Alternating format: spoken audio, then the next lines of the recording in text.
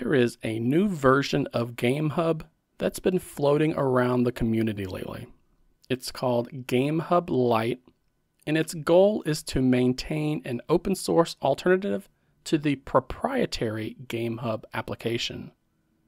This specific modified APK file has been made available to the community via its official GitHub page for the project. But since it is not available in the Google Play Store or even on F-Droid, then you will need to visit the releases page of this project each and every day just to check and see if there is a new version that has been released. But there's actually a much better way of setting this up. And we can use the free and open source application called Obtainium to automatically check for and install those new updates for us. That way we can let this app do all the grunt work and we can use it to keep all of our apps from GitHub up to date.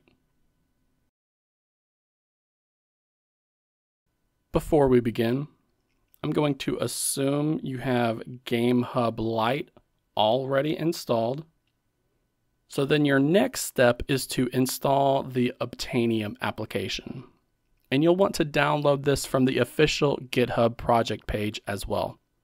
And I'll be sure to have that linked down below for anyone who wants quick access to the Obtainium GitHub page.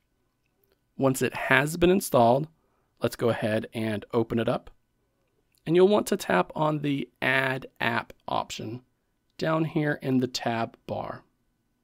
Then we're going to go in the app source URL section up here, and we're going to paste the URL for the GameHub Lite project page, which again, I'll have linked down below as well.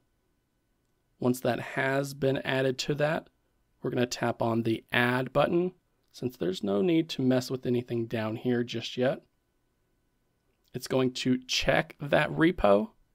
And since there are multiple versions of this, you get to pick which channel you have opted into. And then after a short while, you will see that GameHub Lite APK file will be added to the Obtainium application here. Once that has been added, Obtainium will check to see if an update is available.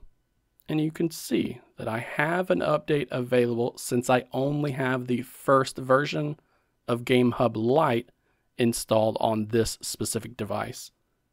So you can either install this from the notification that appears, or you can tap on that down button right there. Tap on continue.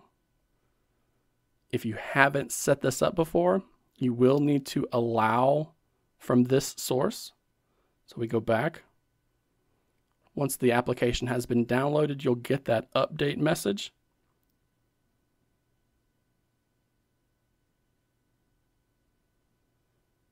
Then you'll see that application being updated to the latest version. You can even tap in on that just to check and make sure that you do not have a newer version available to you. And you can even refresh the Obtainium application so that it will check all of the apps that you have manually added here. All without having to mess with the GitHub website at all. So, if this video was helpful, then please consider giving it a like and sharing it with anyone that you know who installs APK files from GitHub. And I'll bet they'll be excited to set this up on their phone so that they can keep their apps up to date very, very easily.